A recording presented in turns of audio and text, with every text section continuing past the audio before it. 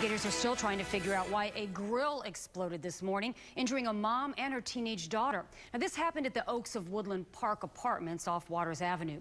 Jason Beisel spoke with some family members and an Army vet who helped pull the mother and daughter to safety.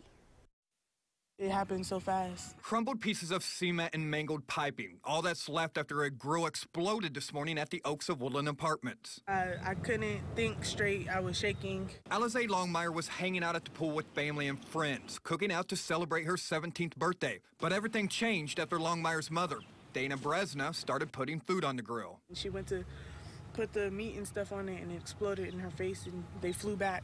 Bresna and her 13 year old daughter both throwing a few feet back. I, I mean, it was wafting, wafting with uh, petroleum. Clay Nice was heading to work, but first stopped by a friend's apartment near the pool. And as soon as I walked in, I heard a blast just like I did, you know, like overseas, like straight, like IED. An Army vet who served in Afghanistan, Nice's military training kicked in. He ran over, jumped the fence, and went into action. Pulled everybody aside, got everybody out of there. Carrying Bresna and her daughter away from the explosion. Both of them in shock, you know uh, reassuring them they're going to be okay. Bresna has a broken wrist and a few burns to her thigh. Fire investigators believe the explosion was caused by a small leak or human error, but are still investigating.